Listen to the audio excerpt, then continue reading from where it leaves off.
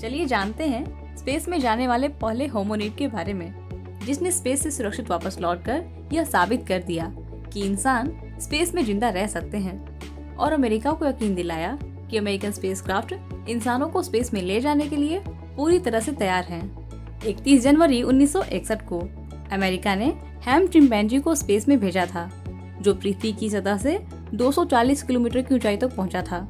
और इस पूरी फ़्लाइट के दौरान उसकी ब्रीदिंग हार्ट बीट और बॉडी टेम्परेचर को मॉनिटर किया जा रहा था, ताकि यह समझा जा सके कि इंसानों की बॉडी स्पेस में कैसे फ़ंक्शन करेगी। क्योंकि चिंपैंजी की बॉडी इंसानों की बॉडी से काफ़ी मिलती जुलती होती है। स्पेस में 16 मिनट और उनचालीस सेकंड बिताने के बाद हैम ने अटलांटिक ओशन में लैंड किया,